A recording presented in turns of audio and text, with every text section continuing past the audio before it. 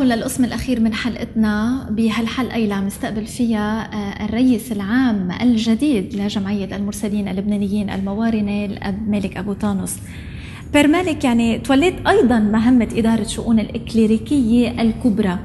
واليوم هالإخوة الدرسين اللي نشأوا بعهدك كرئيس عليهم للإكليريكية صاروا كهنة ومن جديد صرت مسؤول عنهم. ورئيسهم شو السياسة اللي اتبعتها آنذاك مع الإخوة؟ وشو السياسة اللي عم بتفكر تتبعها هلأ بإدارتك كرئيس للجمعية؟ أول شيء بفتخر فيهم. السياسة بيفتخروا فيك؟ تسلم. مش قصة السياسة أنا بحب كتير يربى الإنسان أول شيء بحرية حتى يعبر مزبوط عن شو هو بده. تاني شغلة يربى على قناعات. مش على العواطف ولا على هيك موجة وبتمشي. الكون عنده هالقناعات العميقة. أساسا القناعة الروحية العميقة إنه هي مزبوط ربنا اللي داعيه ومش صدفة دعوة الدعوة للكهنوت أو الدعوة للحياة المكرسة. ثانيا أكيد بالتربية في إكزيجانس في متطلبات على كل الأصعدة يعني. ليش الطبيب بده يدرس عشر سنين تيصير طبيب؟ أنا بحب مش بديش أقول يدرس الكاهن عشر سنين بس إنه الكاهن كمان يعطي الجدية ذاتها يلي الطبيب بيعطيها لدرسه أو المحامي أو المهندس. المتطلبات العلمية المتطلبات الرسولية والإكليريكية منا بس دراسة لاهوت بالجامعة في كتير أمور تانية يعني بيتنشأوا عليها. تكوين هالعلاقات الحياة الجماعية اللي بتربطهم ببعض البعض يعني الإكليريكية هي البيت المجال الحيوي تيربى فيه الإنسان ويتدرب على كل هالأنواع لأنه بعدين بده ينطلق بده ينطلق. ما بقى في ضل محصور, محصور وبأنينة بده يعرف ينطلق حتى يشهد. بده يكون إذا بنقول كيف ما بنكبه يجي واقف اجتماعيا رسوليا علميا. الناس اليوم ما بدي أقول ما بترحم بس الناس اليوم منتظرة من الكاهن هالموقف والوقفة الصحيحة والحلوة والجريئة والواضحة للحقيقة ولله. بالمعروف إنه جمعية المرسلين نشأت للحد من المد البروتستانتي يلي شهدوا لبنان بالقرن التاسع عشر. من بين الأسباب اللي وقت المؤسس صحيح. حركته تيأسس هال نعم هذا بالإضافة طبعا لنشر آه، الاهتمام بنشر الرسالة عبر الوعظ والإرشاد مثل ما سبق وحكيتنا أبونا اليوم وبعد مرور 148 سنة على نشأة هالجمعية وتقارب آه، الكنائس عبر العمل المسكونة شو هو دور الجمعية الحالي؟ هل آه، كيف بتحدد رسالة أبونا وهل لازالت التحديات هي ذاتها أم أنه نشأت تحديات أخرى؟ يعني هلا مش بس هي دور جمعيتنا وحدها أظن كل الكنيسة اليوم بالعالم من بعد المجمع الفاتيكاني الثاني يعني من خمسين سنة صارت منفتحة على بعضها. صار الكاثوليكي والأرثوذكسي والبروتستانتي وكل يعني غير طوائف مسيحية صرنا نحس حالنا كلنا معنيين. قضيتنا قضية وحدة مسيحنا مسيح واحد ويمكن أكبر فضيحة لنا كمسيحيين بالعالم هي إنه مسيحنا واحد ونحن مقسمين وكلنا بنقول صحيح. ما بقى لازم نكون مقسمين وعم نتأمل هلأ الكنيسة إلها بالعالم فوق المية سنة بتصلي بأسبوع أسبوع الوحدة. وأنا بقول صار في خطوة كتير جبارة لحد اليوم بموضوع آه، الوحدة. هلا نحن ككنيسة تأسسنا حصريا للموارنة. بس هذا لا يعني إنه بس إذا ماروني بنقول له بنسلم عليك إذا مش ماروني لا. من كم شهر بعيد الكبير كنت مثلا بكنيستنا بهيوستن. يعني بيقول لي الابونا الناس كلها هون ما بعرف أي الماروني ما بعرف أي الأرثوذكسي ما بعرف أي الكاثوليكي ما بعرف أي السرياني بيقول لي أنا ما بعرفهم. بعرف هودي مسيحيين بحبوا يجوا يصلوا عنا وهني موجودين. وهيك بقول له كمل. هذا شيء ما رح يتغير. بتمنى إنه هديك يوم قال انه سيدنا البطرك هو خبرنا إنه التقى ب تقريبا كل هالبطاركة بالشرق كلنا شفنا بحزيران زيارة البطريرك الأرثوذكسي الأنطاكي لبكركي مع المطارين. ومعروف عنه كتير البطرك يوحنا العاشر انفتاحه.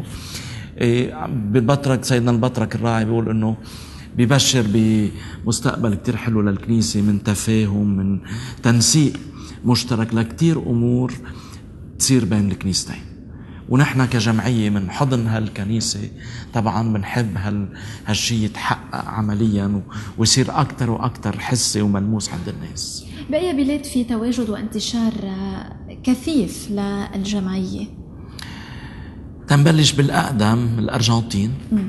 في عنا مدرسة وكنيسة وكهنة بمطرحين ببوناس آيرس بمندوسا كمان. هيدا كان من أول مرة بالانتشار. في عنا بالبرازيل كنيسة كمان حلوة كتير مع مدرسة لمحو الأمية ومستوصف وصالونات كبيرة وغيرها من الأعمال الاجتماعية والرعوية. في عنا بجنوب أفريقيا كنيستين ومدرسة. مع أنه عددهم مش كتير كبير 15 ألف بس كتير بيحبوا الكنيسة ومجتمعين حولها. ويمكن يصير في كنيسة ثالثة بغير مدينة أو بجوهانسبورغ بغير مدينة. في عنا بأستراليا من حوالي 24 سنة بلشنا بأستراليا أو 20 سنة. في كمان كنيسة كتير كبيرة مار يوحنا ورعية. وهلأ عم بندرس مشروع آه، بيوت للعجزة وجاردوري وغيرها عنا بأمريكا الشمالية 12 كاهن. بمركز في مركزين هن للجمعية وفي أربع مراكز هن للأبرشية. كهنتنا بيخدموا بيعاونوا بالرعاية تبع الأبرشية. في عنا بألمانيا من حوالي سنتين وشوي بلشنا. كمان في أربعة كهنة بيتوزعوا على خمس مدن بال weekend يخدموا في حوالي العشرين ألف مسيحي عربي هونيك. حتى هونيك مش بس موارنة حتى العرب كلهم ما في غيرنا يعني بيهتم بالكنيسة العربية المسيحية.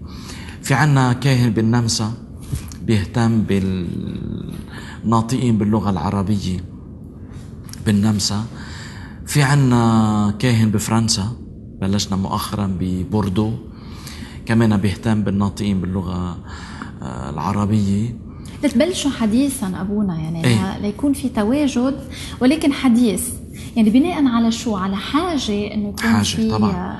إيه يعني أيام بيجوا بيقصدونا مثلا هلأ في كاهن راح على الجوادلوب إجوا هن طلبوا في كاهن راح على الباراغواي في كاهن بلشنا كنا بالجمهورية الدومينيكان رجعنا وقفنا لأنه ما قدرنا نكمل. إيه هن يعني شعبنا عم بيطالبوا.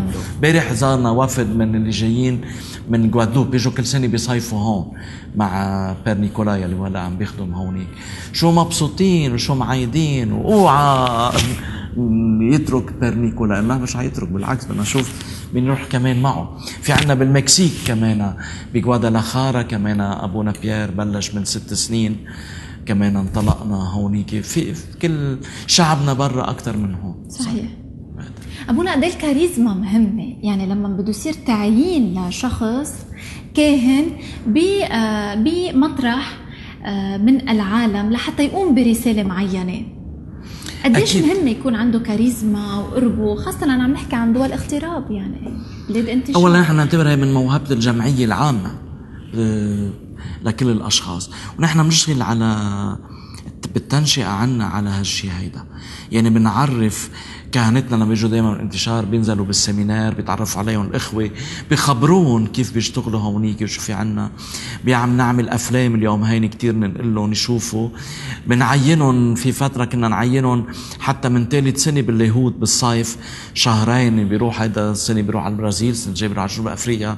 بيتعرفوا على رسالة. هلأ مثلا في شماسين بألمانيا راح يتعرفوا على رسالة. ما هيدي بتخلق عندهم يعني كل هالعوامل بيخلق عندهم هالحب ونوعا ما اللي عم تسميه موهبة للعمل بالانتشار.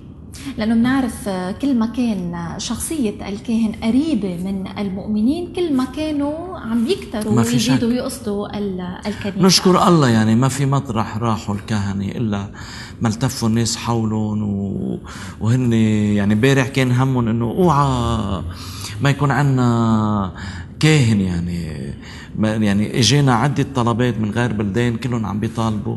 بمجرد ما يروح الكاهن خلص ما بيقبلوا يتركوه. يعني مؤخرا توفى أبونا ناجي زوين يلي كان بكولومبيا. وتجي التليفونات من هونيك مع إنه له سنتين بسبب المرض. ترك قد إيه زعلوا على يعني خسارته لأنه كيف كان معهم وشو عمل معهم بهالبساطة كيف جمعهم.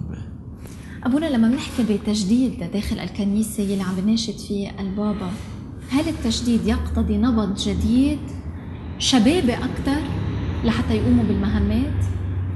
ما في شك اليوم الشباب هن اللي بيعملوا التغيير الشباب في حماس في هلا في أشخاص بتكبر من عمرها عندها روح الشباب وهيدا هيدا المهم هيدا المطلوب. إيه أكيد التغيير بده بده هيك يعني حماس بدي استعمل كلمة شو بدنا نقول باسيون بده شغف. شغف بده شغف يعني. لما درست فلسفة قديما كان يقلنا الأستاذ جملة بعدين اكتشفت أنها هي من هيجل الفيلسوف ريان دو غران ne se fait sans passion. ما في شيء كبير مهم بدون هالشغف بقلب الإنسان. بيقدر واحد يكون عمره 80 سنة وبعد عنده هالشغف هالحلم هالحماس وهالانتوزيازم الغيرة حتى يحقق شيء بفترة كمان آه، أتممت دراستك باللاهوت بألمانيا. بدي أسأل عن هالنقطة أبونا بالذات يعني هل تفرق دراسة اللاهوت بألمانيا عن دراسة اللاهوت هون؟ هلا اللاهوت لاهوت والدروس بيحددها الكرسي الرسولي شو لازم ندرس هلا. بيفرق أكيد بألمانيا كان فيها اللاهوتيين الكبار منهم قداسة البابا بنديكتو السادس عشر. ما صار لي أنا لما رحت كان هو صار كاردينال بروما أنا رحت سنة ال 84 بس في كتير من اللاهوتيين الكبار اللي عملوا هالأبحاث المعمقة باللاهوت إيه أكيد بتميز هيك واحد يلتقي هيك بلاهوت كبير شخصيا تقربي منه تسمع يسمع عم بيعطي هالتين اللاهوت بتعطي حماس أكثر لهالدراسات اللاهوتيه بدي اختم معك أبونا مالك ولو إنه حديثنا معك مشوق. تسلمي آه، وخاصة لأنك خصيتنا بهيدي المقابلة عبر تي في تشاريتي تمنياتك وأمنياتك بخلال السنوات القادمة. أمنيتي أن نكون شهود أصيلين للمسيح. أمنيتي نعطي الرجاء لكل إنسان بعرف في كتير ناس زعلانة حزينة يأسانة في ضيقة اقتصادية في ضيقة سياسية شرقنا كله والع في كتير تجاذبات. الناس كلها بتحلم بدها تصير.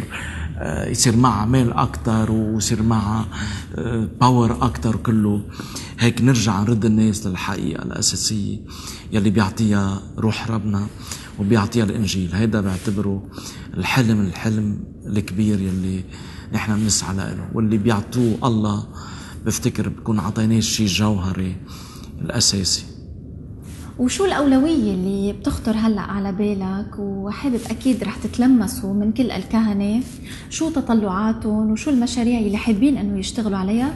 لا على أساس يكون برنامج عمل الجمعية على عهدك أبونا. ولكن هيك بنظرة أولية. هو نرجع كل هالاشياء عم نشغل كلمة الله نشر كلمة الله الوعظ. رسالة الإعلام رسالات الانتشار يعني هلأ في كتير بلدان عم بيطالبوا نرجع نروح. بتمنى إن نقدر نلبي يعني أو بحب إن نلبي هالنداءات هيدي لأنه العالم اليوم صار صغير صار كله منفتح على بعضه بعتبر هيدي يعني إشياء قديمة بس هي أولوية. يعني ما بتموت كمان نحن بنعطيها نرجع اولويتها وحقها من جديد. أبونا مالك أبو تانوس بدنا نتشكر حضورك معنا اليوم ولأنك خصصنا بهيدي المقابلة. شكرا لحضورك. إن شاء الله بنلتقى فيك عن قريب. إن شاء الله. بدي أقول كلمة أخيرة لتلفزيون المحبة. نعم. هيدا مشروع بلشناه. بدي سميه تحدي على ذاتنا بس بتسميه حلم كبير عنا. وكتار يمكن بيتساءلوا ضروري لهالتلفزيون ينوجد. نحن بنقول هذا التلفزيون بنحبه يتوجه للشباب. بنحبه يزرع كلمة الله. وبرجان حط كتير من موهبته ومن طيبته ومن اللي بيعرفه لإنجاح التلفزيون. وإنتو ستعرف اسم كبير منكم يعني. فوق ال 25 شاب وصبية هالأعمار الفتية عم تشتغلوا. بحب إن نعزز هالمؤسسة الإعلامية هالتلفزيون لأنه بيوصل. صرت سامع صدى كتار من الناس يلي بتشوفوا إنه إيه بينبسطوا يشوفوا يسمعوا كلمة الله يسمعوا هالشغلة هيدي. هيدا نحن بنعتبره target هلأ جديد قدامنا. إن شاء الله ربنا بيبارككم وبيقويكم وبيبارك هالعمل الإعلامي يلي هو لخدمة ونشر كلمة الله. شكرا لك père مالك وإن شاء الله كمان معك بيتطور أكثر ال TV merci. وبيتحسن وبيقدر يوصل كلمة الله لأكبر عدد ممكن من الناس اللي حبونا وتابعونا. إن شاء الله. شكرا لحضورك معنا وألف مبروك من جديد شكرا. باسم ال TV وباسم كمان مدير المحطة père جان بو خليفة. شكرا لك ميرسي تانيا لإلي كمان. أهلا وسهلا فيك. شكرا. لهون مشاهدينا بنوصل لختام هالحلقة الخاصة من آخر موقف مع père مالك أبو طانوس الرئيس العام الجديد لجمعية المرسلين اللبنانيين الموارنة. الشكر بيبقى للفريق العامل من خلف الكاميرا عماد سعد توني استفين وتوماس نعمة وعبر الإخراج دانيال فضول. موعدي معكم أكيد بيتجدد. بحلقة مقبلة مواكبة لآخر مواقف وتصاريح البطريرك الراعي. تابعونا الثلاثة اللي جاي بتمام الساعة 8:30 الله معكم.